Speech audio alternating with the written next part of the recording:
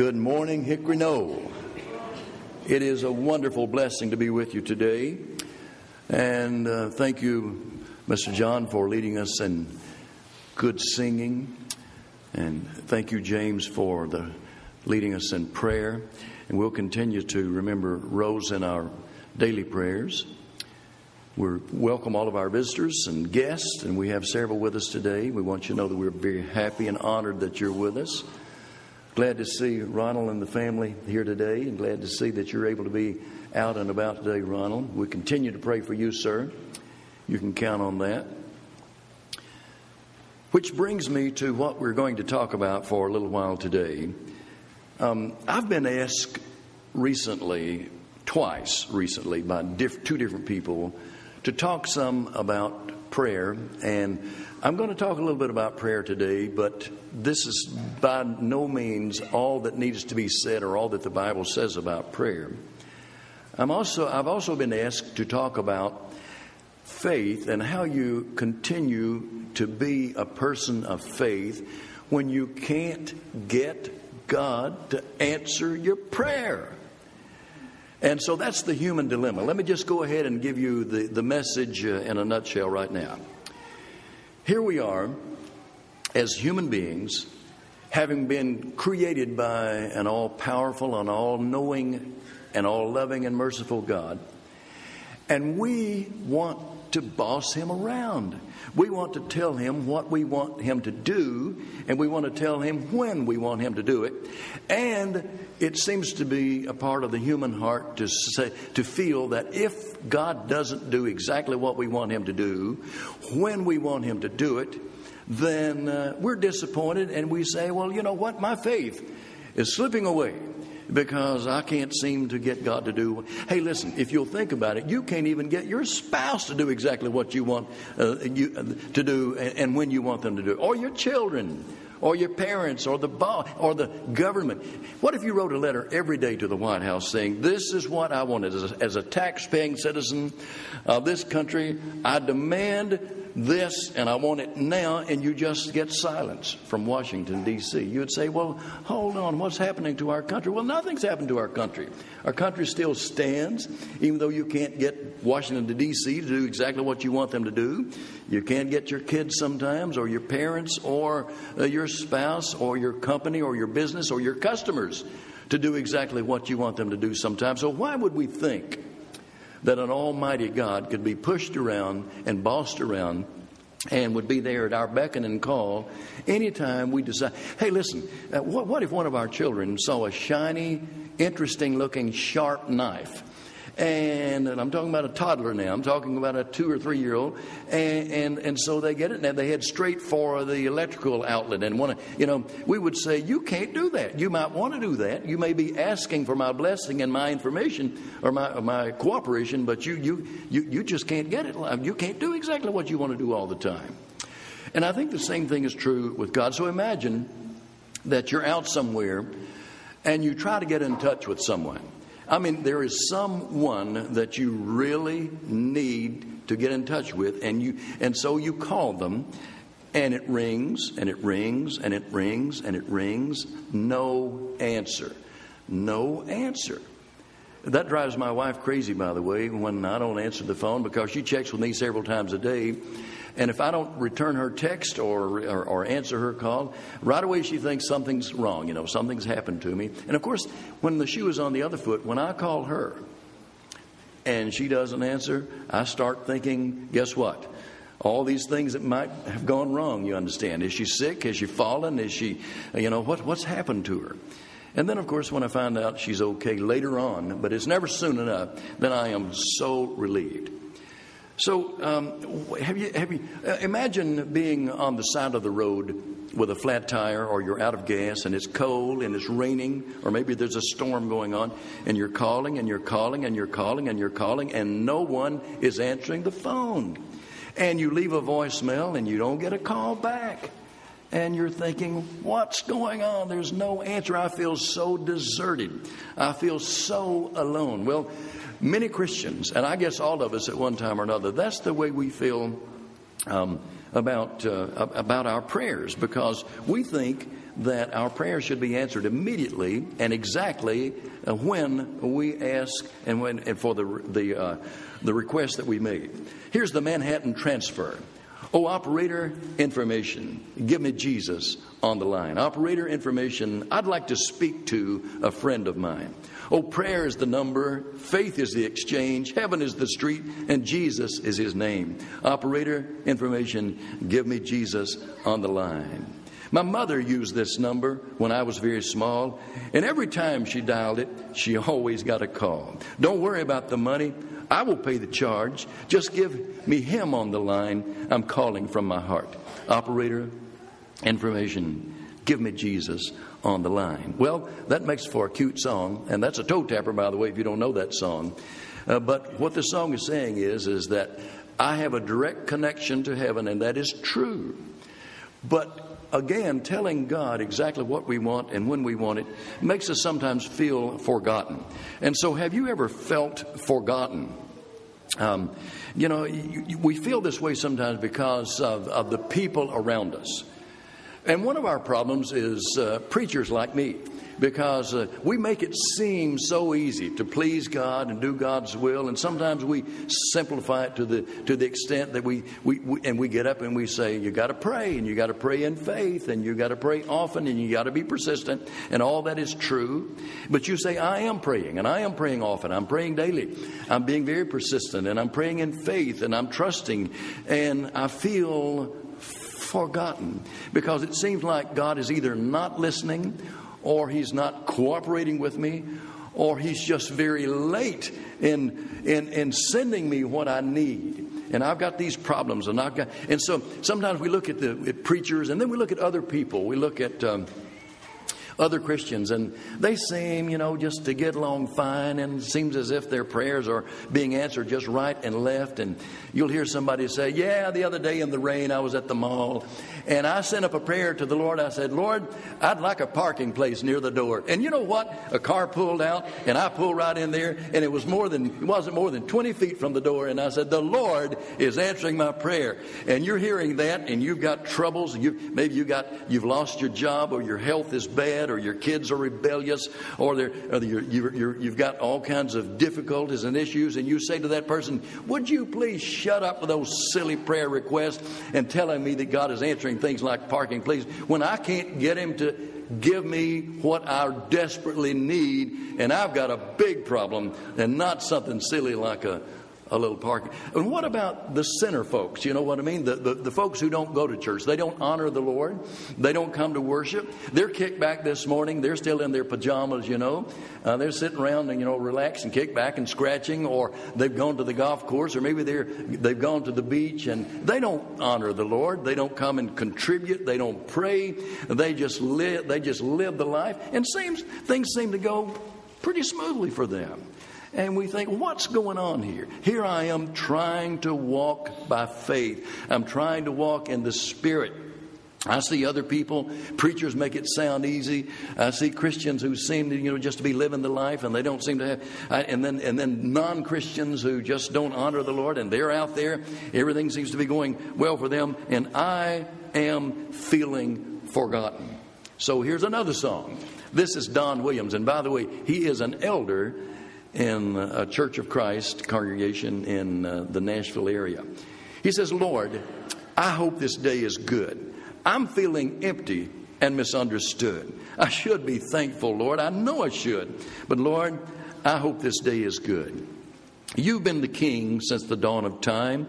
All I'm asking is a little less crime. It might be hard for the devil to do, but it would be easy for you. Lord, have you forgotten me? I've been praying to you faithfully. I'm not saying I'm a righteous man, but Lord, I hope you understand. Lord, I hope this day is good. I'm feeling empty and misunderstood. I should be thankful, Lord. I, I know I should. But Lord, I hope this day is good. Isaiah 49, verses 14 through 16. But Zion said, The Lord has forsaken me, the Lord has forgotten me. And then this question is asked from God through the prophet Can a mother forget the baby at her breast? and have no compassion on the child she has borne? Though she may forget, I will not forget you, God says. I will never forget you. You will always be on my mind, and you will always be in my heart. And so, when we feel forgotten, the question is will our faith hold? Because we don't want to abandon our faith simply because we have some problems and difficulties. Uh, and, we're, we're going through a wilderness period in our life. And we know that the scripture says, Hebrews 11, 6, but without faith, it's impossible to please God. And we want to please God. We want to be someone who trusts Him. We want to be someone who, who uh, walks by faith. And so, how do we go through the, the wilderness phase in our life and, and hold on to our faith when God seems to not be listening to us and He's not seeming to cooperate with us. Notice I'm using the word seem. He seems to be late according to our timetable, according to our watch and our calendar and, and our time schedule. And so, um, what, what's going on? And, and will faith hold? Let's go to Hebrews chapter 3. Hebrews chapter 3. And uh, there are some very uh, plain things said in this verse. I'm looking first of all at verses 1 and 2.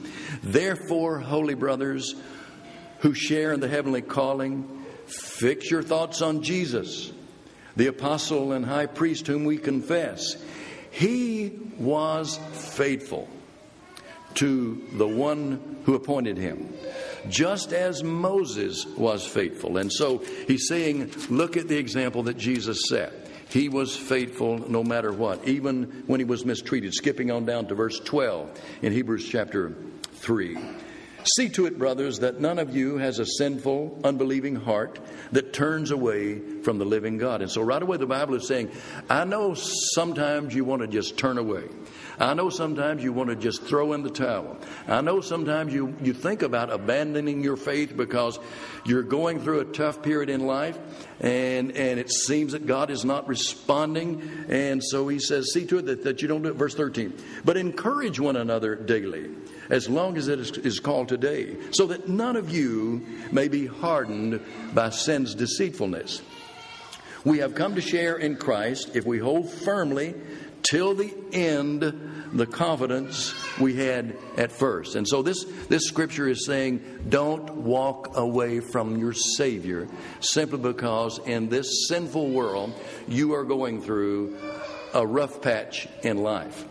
Because, you know, uh, Job said this. Job said in 14, 1 and 2, man or woman who is born of woman, that's just about everybody, um, uh, is uh, that life is short and full of trouble, he says. Life is short and full of trouble. This life is not supposed to be paradise. Paradise is over on the other side. It's not to be found. This is not heaven. And therefore, we are not going to live this life as if we are in heaven. This is a different kind of existence.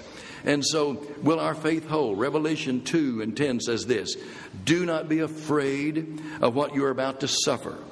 Uh, I tell you, the devil will put some of you in prison to test you and you will suffer persecution for 10 days. That means for an unspecified period of time.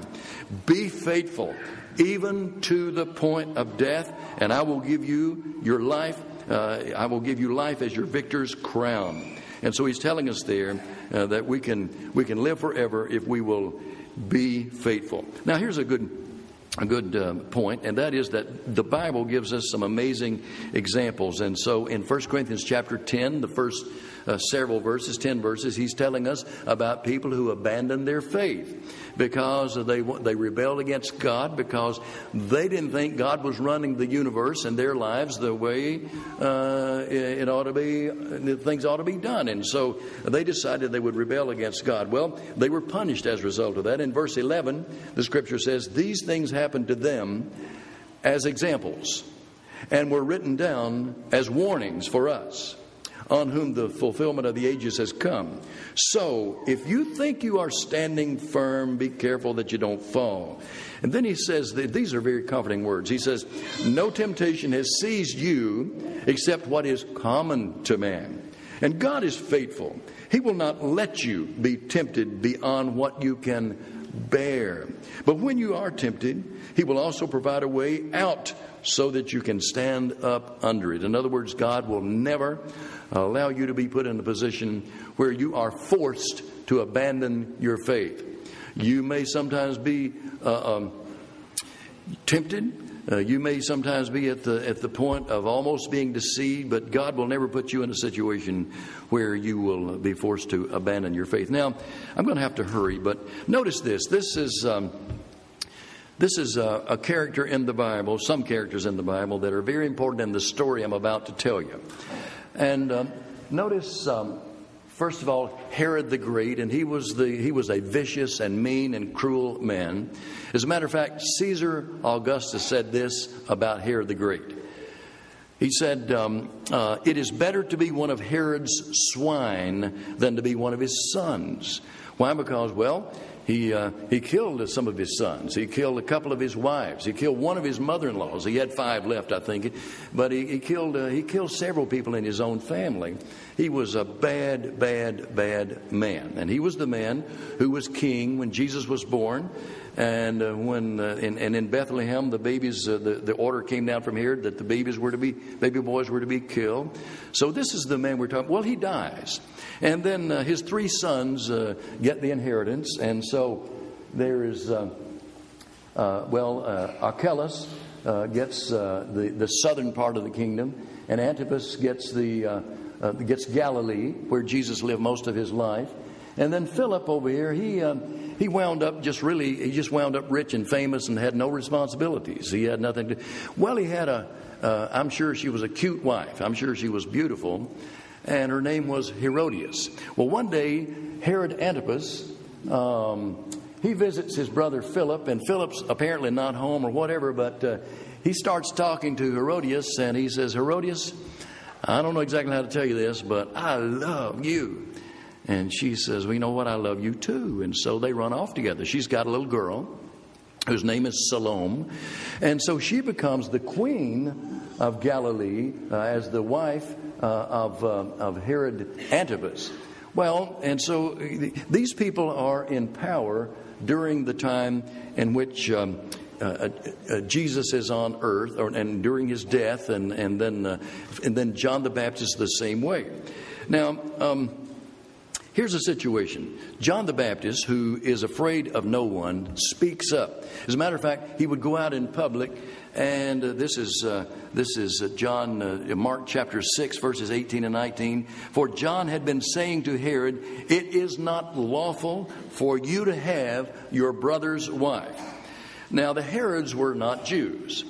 And so when John the Baptist said it's not lawful for you to have your brother's wife, he means it's not lawful according to God's law. Uh, the Romans didn't particularly care, and the Greeks didn't particularly care uh, whose wife you ran off with, but God cares. And, and, and of course, uh, according to the law of Moses. And so, John the Baptist is a man who is afraid of no one, even Herod. He went about preparing the way for the Lord Jesus Christ. He was the man who said, Repent and he baptized people uh, uh, to repentance and getting ready for the coming of the Savior. In John chapter 1, verse 29, he calls time out when he sees Jesus, and he says, Now, folks, he said, I appreciate, I'm paraphrasing a little bit here, you folks following me and trusting me, but look at the Lamb of God because He's the one who will take away your sins and the sins of the world. So he says, follow him. And by the way, you know that they're cousins. Uh, what would it be like to have such a famous cousin? Um, Jesus is just six months younger than John the Baptist. Have you seen that movie trailer out, um, uh, The Identical? And it's uh, the story is uh, loosely based upon the fact that Elvis Presley was a twin, and that he was born to very poor parents in the 30s in Mississippi during the Depression, and they felt they couldn't raise both. Uh, both children, and so they gave one up for adoption. And a preacher type and his family adopted the, one of the twins, and, and, the other became a rock and roll superstar, while the other one became, uh, you know, he had as much talent, he had the looks, he had it all, but he didn't get the breaks. That well, the, John the Baptist had this very famous cousin, Jesus Christ, who is the Son of God. Well, John goes to prison as a result of his preaching. Now, you would think with a famous cousin, uh, even if he was thrown in prison, he would get bail right out. You know what I mean? Uh, that, that, that no harm could come. He would be like Teflon. No one could do anything to harm someone as close to the Savior of the world as John the Baptist was. But I mean, he had done everything right. He had stood for what is right. He had preached what, is, what was right. He, he had connections. I mean, but he's in trouble. Now, I'm saying this. You and I need to be reminded if someone like John the Baptist, who is that close to the Lord, even blood related to the Lord on the human side, can get into trouble, what would make us think that we won't suffer some difficulties in our life from time to time? So this is Mark 6, verse 17. And Herod himself had given orders to have John arrested. And he had him bound, that means handcuffed and bound, tied up by ropes or whatever, and put in prison.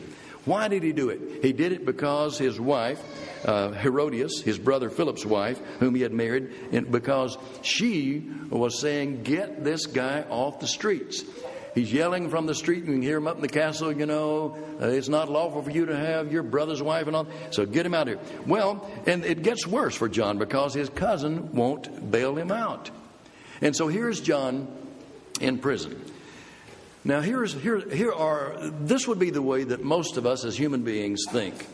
We think God is good as long as life is good. But if my life takes a turn for the worse, then we tend to want to think, well, God has changed. He used to be good, and now He's not so good. Uh, he used to be faithful to me, and now He's not so faithful. Why? Because I'm suffering. And so when John the Baptist finds himself in prison, then his world becomes that prison cell. And all of a sudden, there are no rewards, there are no perks, there's nothing for being the cousin of Jesus. And no, and then not only that, this is Matthew 11, verse 2 and following. When John, who was in prison, heard about the deeds of the Messiah, he heard what Jesus was doing. Jesus was out there healing people. And not only was he healing Jewish people, he was healing people like the uh, centurion soldier's son and people like that. I mean, he was healing people right and left, and he's leaving John in prison. And so, will John the Baptist's faith hold? I mean, and is he beginning to say, I'm like Don Williams in the song, Lord, have you forgotten me? Like, the, like Zion in, in Isaiah. Uh, Lord, have you forgotten us? Uh, have you turned your back on us? Have you left us alone? Why? Because you see, uh, uh we, we begin to doubt when difficulties are coming our way. And so John begins to doubt. And, um, and, and doubt, of course, is a heavy burden to have to carry. I don't know uh, if you've ever been uncertain about whether someone is, that you love is faithful to you, or if your business partner is ethical and honest, or, or are they embezzling from you? Or if you've ever had these kinds of doubts, you know how it feels. And some people, even John the Baptist, might even begin to doubt. And so here's John, and you know he's doubting because, but we're back to Matthew chapter 11, verses 2 and following. And so he says, uh, in, uh, in verse 3 Are you the one? Now, this is John the Baptist who is sending his disciples to Jesus to ask, Are you really the one? I know that, I know that. Um, I kicked in my mother's womb when your mother told my mother that she was expecting a child. Um, I know that I have blazed all kinds of trails for you. I know that I've announced that you are the Lamb of God, the Savior of the world. I have seen you do amazing miracles, but I just want to know right now, since I can't get you to help me, are you really the one? Because I'm beginning to wonder if you're there. And so Jesus replied, verse 4, Matthew 11. Go back and report to John what you hear and see. The blind receive sight, the lame walk, those who have leprosy are cleansed, the deaf hear, the dead are raised, and the good news is proclaimed to the poor. Go tell him that, and he will know that I am the one. This is proof that I am the one. And then it's almost as an afterthought. Jesus says, "Oh yeah," and and, and uh, tell, tell him uh, tell him one more thing. And so Jesus says there's one more thing that John needs to know. You see, right now, he can't see past his jail cell. You see, because pain can overshadow and overcome our faith when we're in the moment of pain. Have you ever been hurting so bad that you couldn't pray for someone else? You say, Well, I pray for my friends and my loved ones all the time. Have you ever been so in such pain that all you can do is just suffer the pain and you can't even bring your heart and your mind to pray for someone?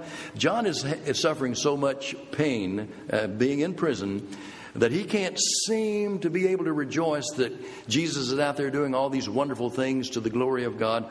All he knows and all he can feel is his own pain. And he says, I need some relief. I need, I, I, need to be able to see past my present circumstances, but he can't. And so Jesus says this in verse 6. Blessed, by the way, the word blessed or blessed, it's that we pronounce it two different ways, simply means blessed by God.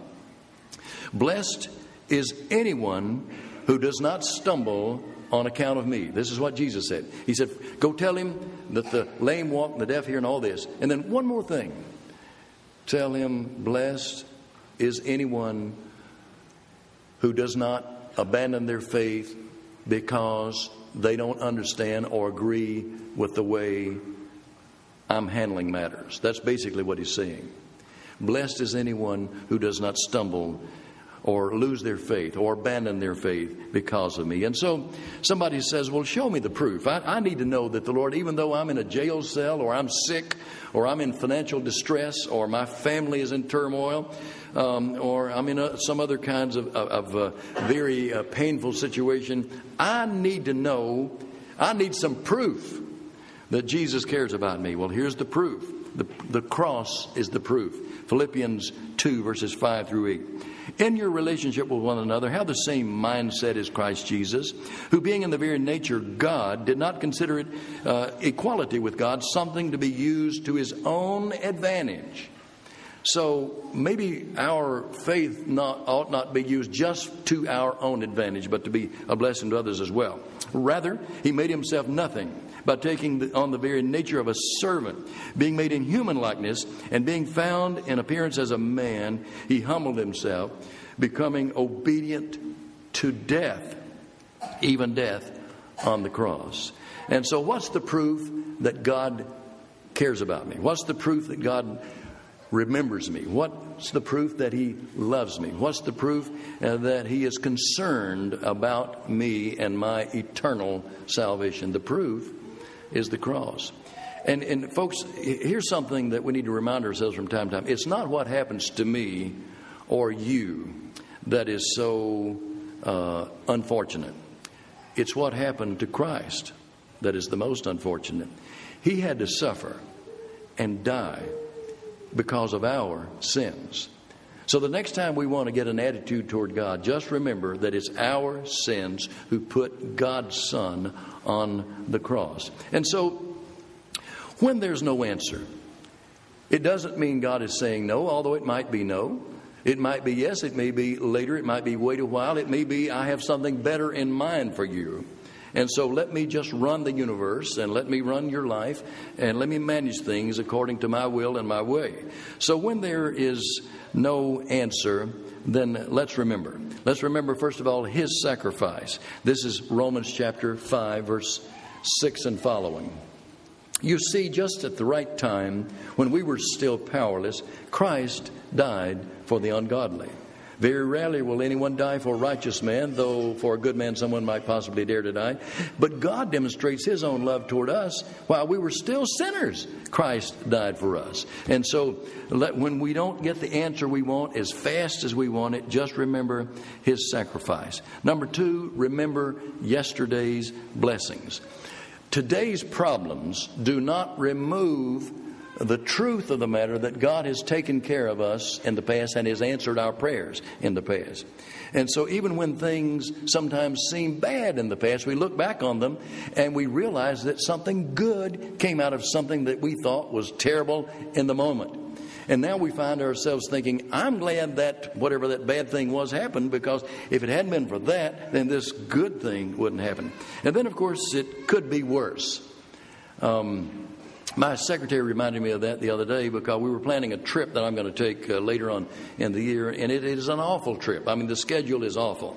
And I'm coming, and I said, and I will get there exhausted. And she smiled and said, Well, it could be worse. I said, What do you mean? She said, Well, you could be sick too. No, I said, well, thank you for that attitude adjustment there.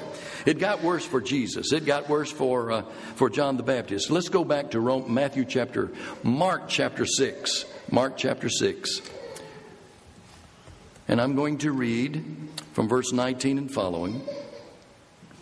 So Herodias, this is uh, uh, this is Herod's wife who ran off, left her husband Philip, and, and, and, well, and she's got this daughter, Salome.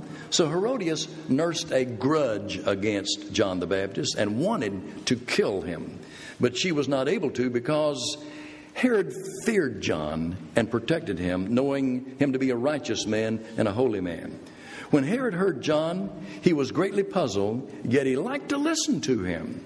Finally, the opportune time came on his birthday, Herod gave a banquet for his high officials and military commanders.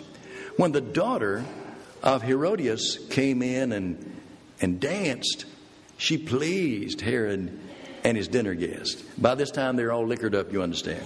And the king said to the girl, Ask me for anything, and I'll give it to you.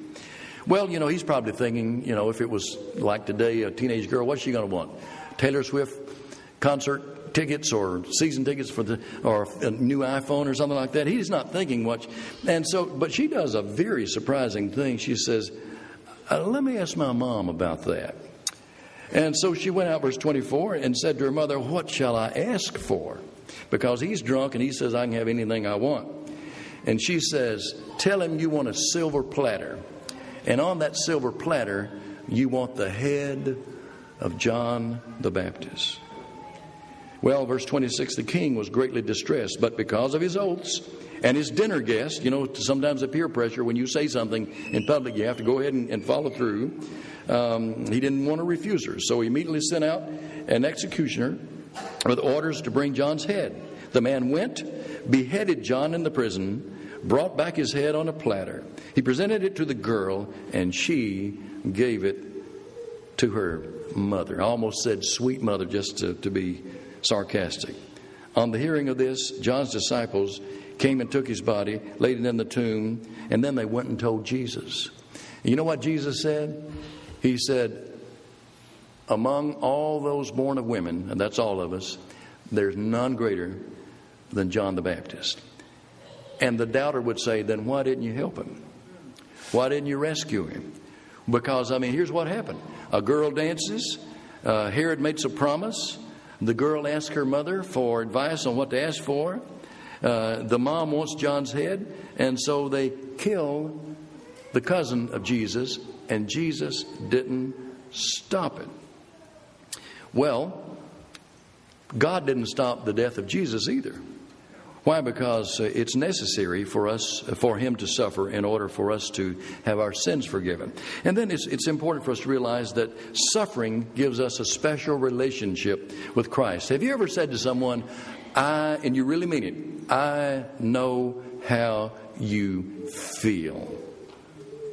Well, Jesus knows how you feel because he's felt that way and even worse. And so we identify with him when we suffer. This is 1 Peter chapter 4, verse 12 and following. Dear friends, do not be surprised at the painful trial you're suffering as though something strange were happening to you, but rejoice that you participate in the sufferings of Christ, so that you may be overjoyed when his glory is revealed. If you are insulted because of the name of Christ, you're blessed, for the Spirit of glory and God rest on you. If you suffer, it should not be as a, as a murderer or a thief or any other kind of criminal or even as a meddler. However, if you suffer as a Christian, do not be ashamed. That means don't be discouraged. Uh, but praise God uh, that you bear that name, the name of Christian. And then the last point when we suffer, and that is simply remember that our salvation is based upon the fact that God did not rescue Jesus. When Jesus said in Matthew 26, verse 39, Oh, my Father, if it is possible, let this cup pass from me. Nevertheless, not as I will, but as you will. God didn't stop it. God didn't stop the torture. God didn't stop the suffering. God didn't stop the bleeding. God didn't stop the death because it was all a part of the eternal plan. Somebody has got to pay for our sins. And God says, I'm going to have to do it, and I'm going to place the punishment on my one and only precious Son. And yes, I'm going to allow him to suffer so that others can be saved. And so now here we are in the 21st century, some 2,000 years from the time that Jesus suffered, and souls are still being saved. And the population of heaven continues to increase.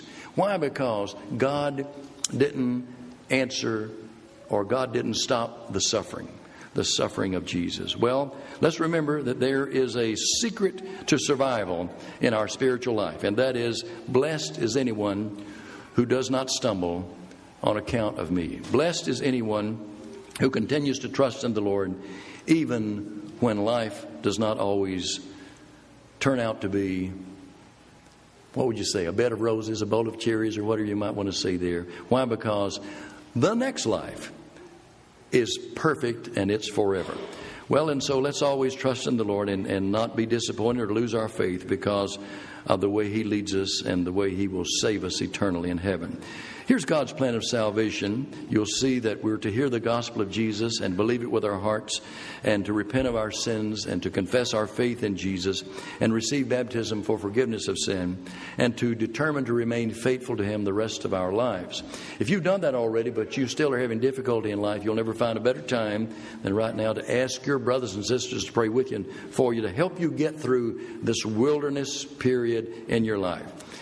And remember, never, ever, ever let any of us stumble because the Lord is the Lord and He's doing things the righteous way and the perfect way in which we can't understand on this side of eternity. But when we get over on the other side, uh, all will be revealed and we will understand. So, in the meantime, let us trust Him. If you need to come to the Lord demonstrating that trust today, won't you come right now while together we stand and sing?